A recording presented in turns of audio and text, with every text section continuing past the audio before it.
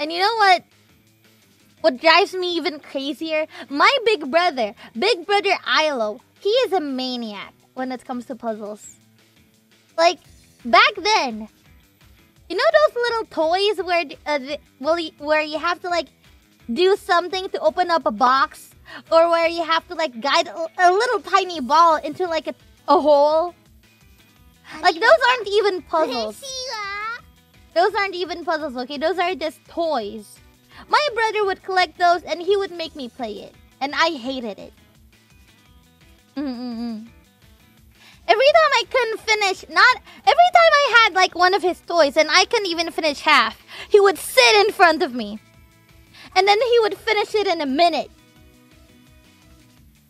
Do you guys know I grew up in such a well well to be honest, my mom and dad uh, they're not that bad. It's just that I have such an annoying big brother and he just fuels my hatred to anything that has anything to do with like self-control, patience, and problem solving. He's just flexing. He flexes in front of me so much, and I feel like he did contribute to my trauma for puzzles. He wants to show you how it's done. Or was he just trying to show off? Imagine having two older bros. No, I actually have two brothers one being a younger brother and one being an older brother, they are the exact same copy of each other. Well, not really. Uh, they are different by person. But I mean, when it comes to things that I can't do, they brag it. They shove it in my face, rub it in my wound. And you know what? It'd be different if I had, like, I don't know, a VTuber brother. But you know how that went? Everything stayed the same. Jurard is right there. Now you guys don't understand. I do not look at him as my brother. I look at him as a kohai. So he's not your wife. I told you he's the mother of my child, but that's it. Whoever told you guys that we were married? What what gave you guys that conclusion? He's living under a bridge, Ollie.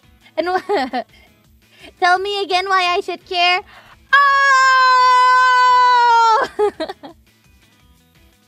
We had a deal. We had a contracted deal. If I beat him in Apex, I won't pay for child support. And what happened? He lost. So honestly, that's on him. That's that's just entirely on him. I have nothing to do but having to pay for child support. Mm-mm. Junet can go into a student debt for all I care. Yeah. There's no such thing as child support law in ID. Exactly! That's what I'm trying to say! Yeah. It was fair and square.